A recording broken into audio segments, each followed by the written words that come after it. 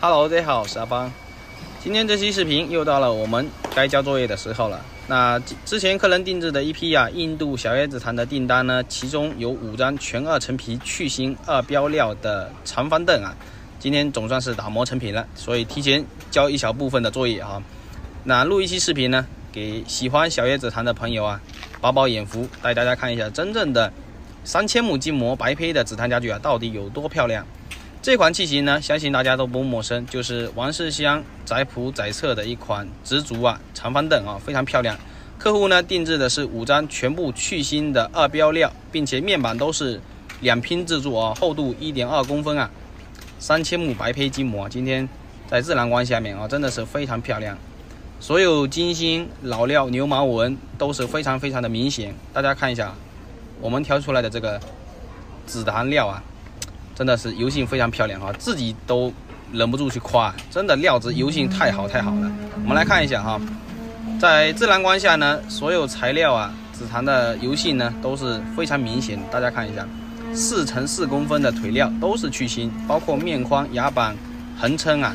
每一根料子的油性都是高油高密的品质。现在大家看到的这个状态就是白胚没有上漆，没有打胶，没有打蜡，哈，非常非常干净，一颗中眼都没有啊！就是在自然光下，这种料子，说实话，小叶紫檀的家具啊，材料比器型呢更重要啊！真的，器型呢非常好做，但是选材呀，这个是没有上限的。大家可以通过镜头呢，仔细的看一下这五张方凳的一个我们的一个选材备料挑料的一个标准啊。每一个面框、牙板、腿料啊，啊，牛毛纹都是非常的细腻，肉质感都是高油性的。大家可以看到哈，牛毛纹腿料是非常的非常明显。因为明式家具啊，它是非常讲究用料的，因为不做任何的雕花，只有牙板有做一点点线条。这个牙板是轻地起线的，所以看起来更加有立体感。这款器型啊，就是啊，左边两边是两根横撑，正面是一根横撑啊，整根。整张方凳呢，虽然看起来用料不大，但是其实用小叶紫檀来复刻的话，做起来真的是耗料不小啊！大家看一下，所有我们挑料的标准呢，一目两开的面板都是带有水波纹，还有金星和牛毛纹，这个是小叶紫檀比较开门的特征。但是面板料要求厚度一点二公分啊，要开出来这样的品质就比较难得了。虽然是五张比较简单的明式方凳，但是用小叶紫檀。我们来复刻啊，用料都是非常非常的严谨，包括工艺细致，每一个环节都是打磨到位，精磨到白胚三千目啊啊！这个三千目真的不是说说而已的，大家可以看一下我们表面的这种呈现的镜面的质感，并且边框抹头全部都是带有金星的泥料。这种方凳呢，就是之前有拍过几期几期视频啊，就是我们挑料回来的这个黑皮老料开出来的品质啊。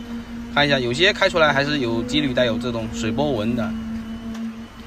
像小叶紫檀家具刚刚成品的颜色，就是呈现视频里面这样的啊，非常鲜艳的橘红色。这个是小叶紫檀材料刚打磨出来，还没有进行白胚和空气发生氧化成黑红的效果，非常的自然。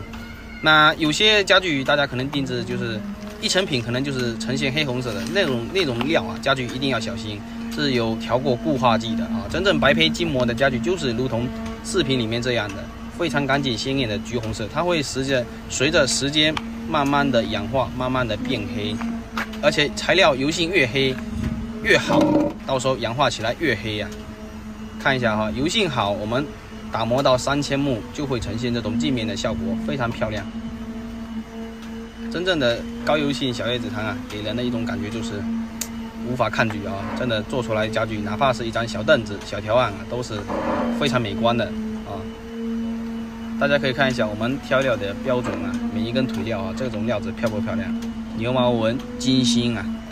横撑、小料、大料都是一样的标准哈。包括我们定制都是全透明化的用料，组装之前每一根材料白胚都是可以验的。那大家如果有喜欢高端定制的，可以私信一下阿芳哈，可以关注一下阿芳，给我们点点关注，感谢大家。